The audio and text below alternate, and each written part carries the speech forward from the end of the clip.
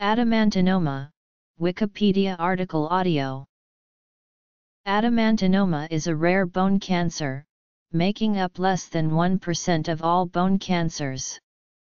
It almost always occurs in the bones of the lower leg and involves both epithelial and osteofibrous tissue.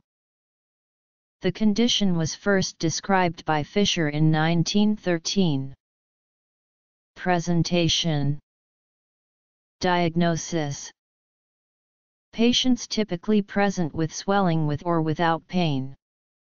The slow-growing tumor predominantly arises in long bones in a subcortical location.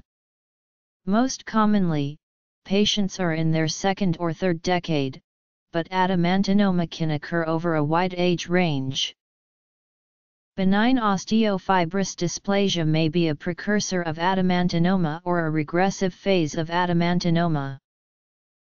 Histologically, islands of epithelial cells are found in a fibrous stroma. The tumor is typically well demarcated, osteolytic, and eccentric, with cystic zones resembling soap bubbles. Treatment consists of wide resection or amputation. Metastases are rare at presentation but may occur in up to 30% of patients during the disease course. Prognosis is excellent, with overall survival of 85% at 10 years, but is lower when wide surgical margins cannot be obtained.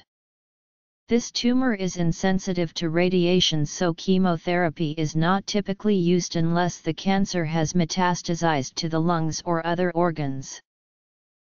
The typically benign odontogenic tumor known as ameloblastoma was first recognized in 1827 by Cusack but did not yet have any designation.